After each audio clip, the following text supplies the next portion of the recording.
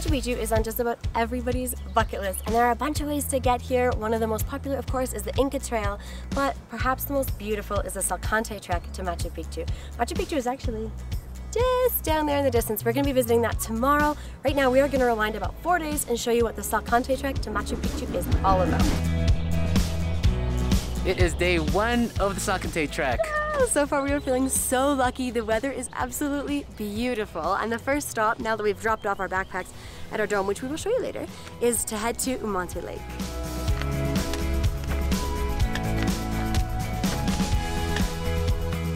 So today's video is extra special because on this hike with us, we have some guests. We're with a big group today. We've got my mom, my dad, that's Lois and Jim, and then in the back, we've got Gijo. Gijo is from Peruvian Paths and Adventures. He is going to be guiding us for the next five days. We're lucky enough to be doing a private tour, and he's going to take us up and down mountains and all the way to Machu Picchu, right? Yes. Awesome. Easy peasy. Easy peasy.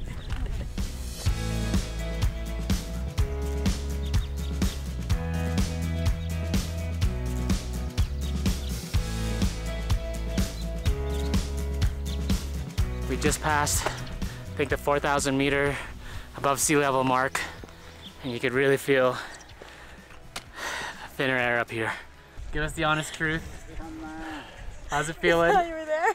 The oxygen is killing me, or lack of it. Is that up there? All the way up It's there. not like right there. Uh, it's deceiving, isn't it? When you're lower and you're like, oh, I think it's just right there. And then you get to that right there, and then it's like, oh, it's another 200 meters up.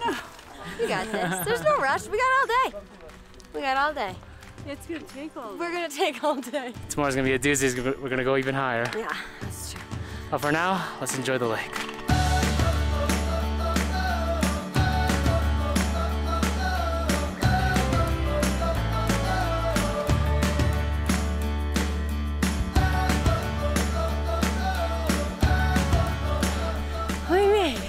That was a tough climb at the end there, Yeah, it's pretty steep. but this lake, totally worth it. It's really, really blue. It actually reminds me a lot of Canada. Yeah, it does feel like a lot like Canada. It feels a lot like our lakes at home. So this Humantay Lake is one of the reasons why you would do the Salkantay. Just it is something you could do as a day trip coming out of mm-hmm. Cusco. But uh, if you're heading over towards Machu Picchu, this is just one of many stops of beautiful scenery on the way on the Salkantay. Yeah, one of the main reasons actually that we did this trek, hey? Yeah. Yeah. Mm, worth it.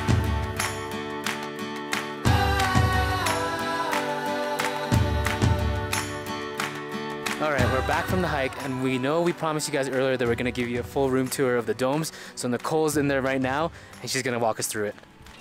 Hello. Oh, I timed that really well, didn't I? It's pretty good. Come on in to our dome.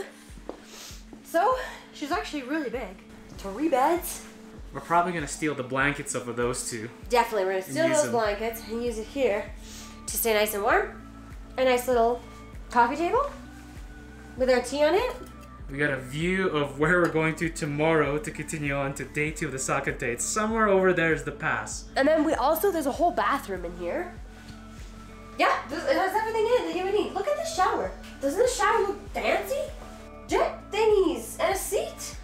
I'm assuming this is the gas heater for the shower. I'm hoping that's what it is because I would love a hot shower. And that's it. The whole Bubble Dome tour. We're totally spoiled tonight and we just have this for the one night, but it's gonna be magic. We're gonna thoroughly enjoy it. Okay, best update on the room tour ever. We thought that the gas that is like back here was to heat the shower. Turns out it's a furnace, like a heater. As you can see, I started to get ready for a very cold day or night, and uh, now there's no need. I'm so happy. After warming up, we hopped over to the dinner dome for some delicious food. Our chef thought we could warm up further by lighting bananas on fire for dessert. So we enjoyed our flaming fruit before taking one last look at the stars and crawling into bed early because day two was going to be a big day. Well, it's 4.30 now, and at 4 o'clock we were woken up by the chefs and the chef's assistant with some coca tea. I don't know if you can see that. Mm. But now it's time for breakfast, and we start hiking at 5. On for days. So good. So, Today is by far the hardest day that we expect on the Salkantay trek. Probably gonna be hiking for like 12 hours. The first thing we do is go 800 meters up to the Salkantay Pass. So far, we're feeling good. Mom is on a horse because uh, the altitude kind of gave her a punch to the gut. So she's gonna take the horse up and we'll see how she's doing for the way down. But we're already being rewarded with this beautiful like sunrise light. I can't actually see the sun from inside the mountains here, but it is beautiful, like the pink hue that we're getting over everything. I love this time of day.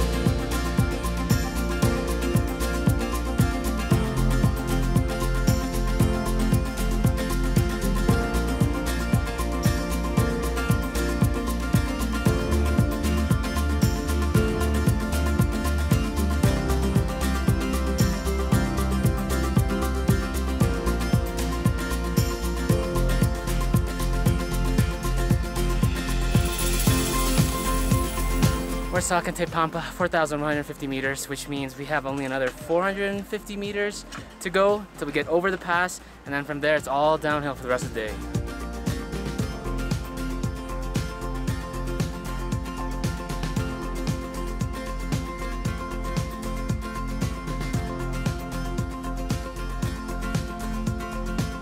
In Quechua, the Andean language spoken by many indigenous Peruvians, Salkantay is a word that means wild or savage. It's a fitting translation that aptly describes both the Andean landscape and our feelings as we made our final push to the top of the Salkantay Pass. The relief and feeling of achievement when we finally arrived was indescribable.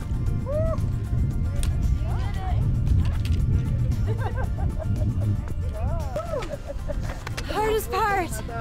We did it. Mico, please. Nice job, hon. Nice Proud of us. Nice job, you guys. How you feeling? Tired, but it was good. We actually got it done, so that's great. Yeah. Congrats. I'm surprised, but Nah. beautiful up here though. Did the job for the Yeah. seniors. Stunning up here.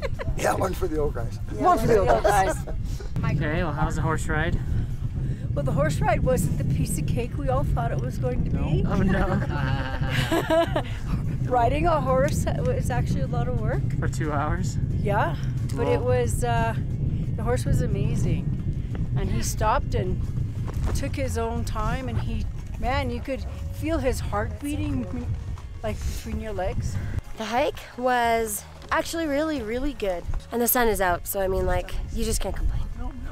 And seriously, can we look at the sky? Have you seen a bluer sky? Like, come on. Blue sky means no sacrifice today. That's right. Yes. I'm not gonna get sacrificed. No lucky. Luckily lucky. Lucky me. What happens if there's rain? Normally sacrifice one of my hikers. youngest, right? The youngest? Mm, that's me. That's you. I'm the youngest. Well, that pass was so tough, but it was completely worth it. I think uh, once we got to the top, everybody just took a break, took out some snacks, drank some water. Gijo started giving us a little lesson on the mountains and the area and how it is so important to Quechua and Inca culture. So now we're heading back down, which is great because the altitude is really, really challenging and uh, we're ready for something with a little bit more oxygen. This is a long day, truly, because you go like three hours up to the pass, and then it's another like three hours to lunch, which is why you start at 5 a.m.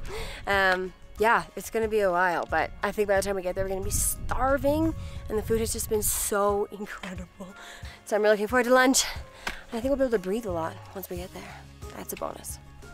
The incredible mountain views made the long, steep descent to lunch much, much easier. After another delicious meal, Dad and Mico decided to show off their shared skill of being able to micro nap anywhere. From here, we embarked on the final 10 kilometers of what was a very long and exhausting day. We did it. Well, that didn't take long. No, not at all. You're not sunburned at all. Oh, I have to say, I was the most physically demanding thing I've ever done in my life. Yeah? I think so. You waited till you're 60 to do it. That was a bad idea. Yeah. Yeah, I should have thought of this 20 years ago.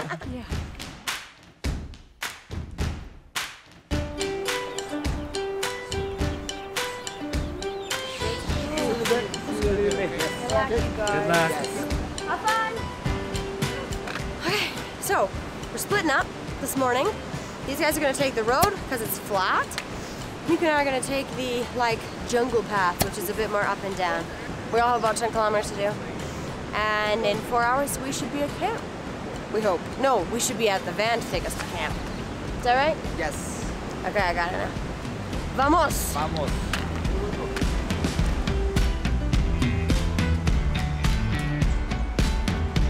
Wild strawberries, Yes. in case we get lost out here. Mm. Sour? Oh, but it's good. Need some whipped cream? Need some whipped cream.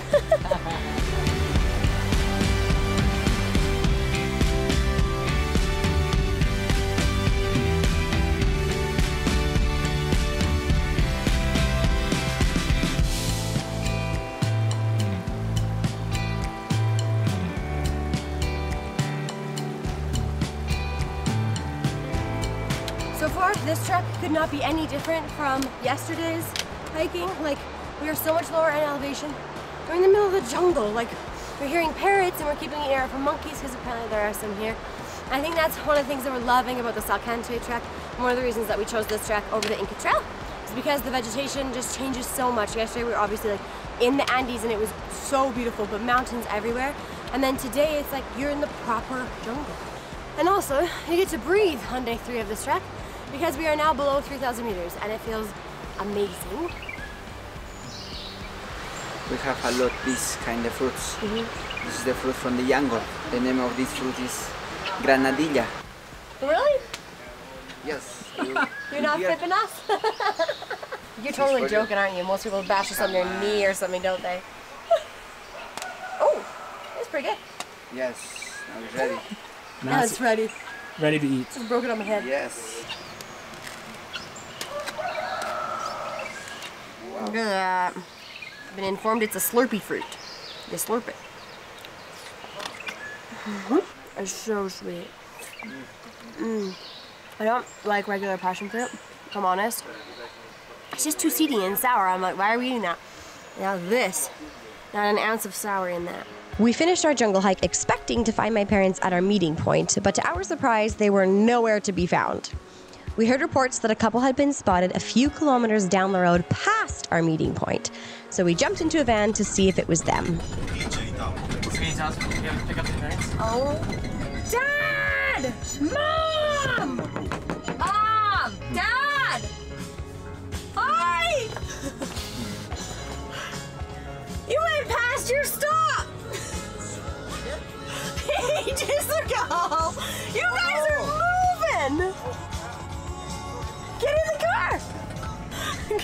Supposed to meet my parents back like a 20 minute drive ago. They were supposed to be there by 11. It's like 10:40 now, and they're way, way past. What happened before you left? We were on the road for like 20 minutes. What? I'm driving to find you. What? Yes. Get in! Come on in. We'll tell you the story as you're in. You win like an extra at least 5k. That's so funny. Yo, I do. We've been driving for ages. I'm like, there's no way they made it this far. Like, it's so much further. So what? Are we halfway to where we're supposed to be going? yeah. Oh, yeah. Might as well keep going. well done.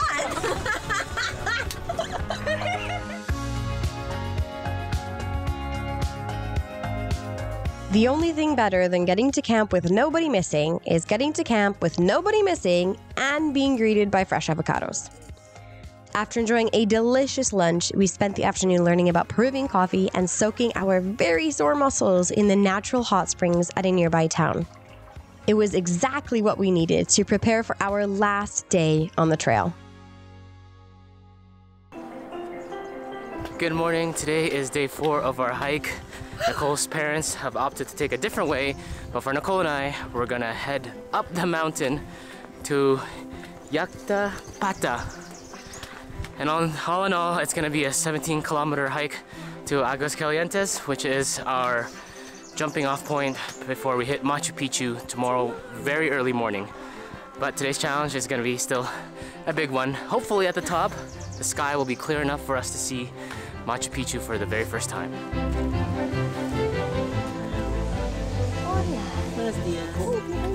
Yes. You guys are very, very sweet. Boy, you wanna come? We're never gonna get to the top of the mountain. No, I know. Go stay forever.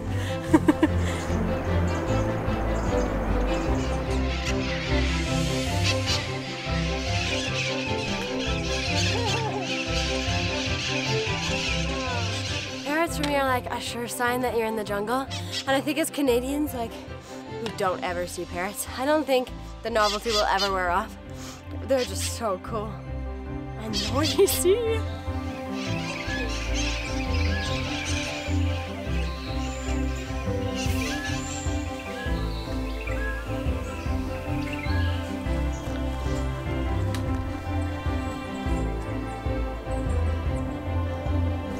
This is absolutely stunning. It's so, so, so beautiful.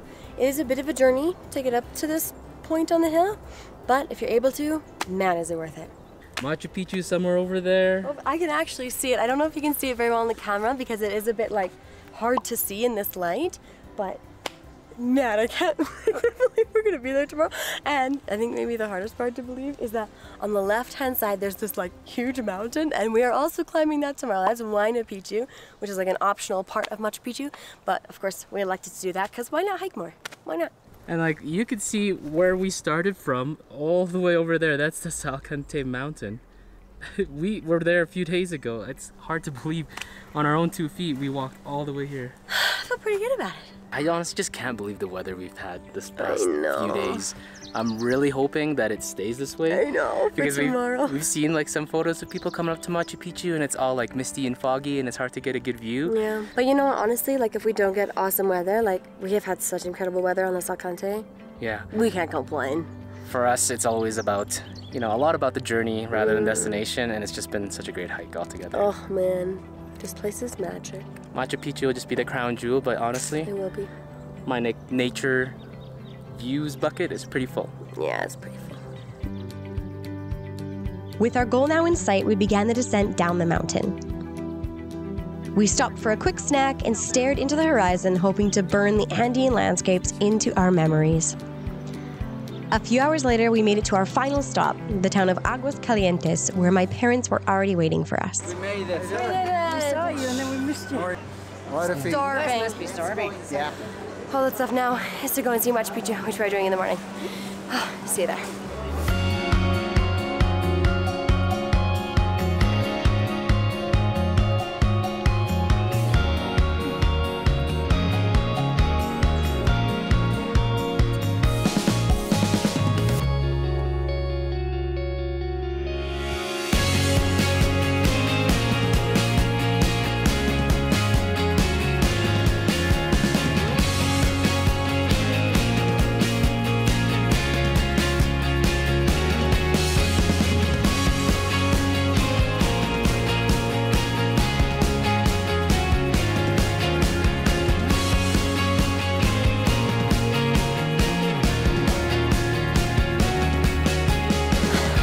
That video has convinced you to do the Salkantay trek or any other trek in the region for that matter, we will link Peruvian Paths and Adventures below. Our guide Gijo has just been absolutely amazing. Incredible. And food has also been so, so good. Our next video is going to be all about Machu Picchu and tips to visit Machu Picchu. So if you want to see that one, make sure you subscribe. And if you like this video, want to see more like it, hit the like button.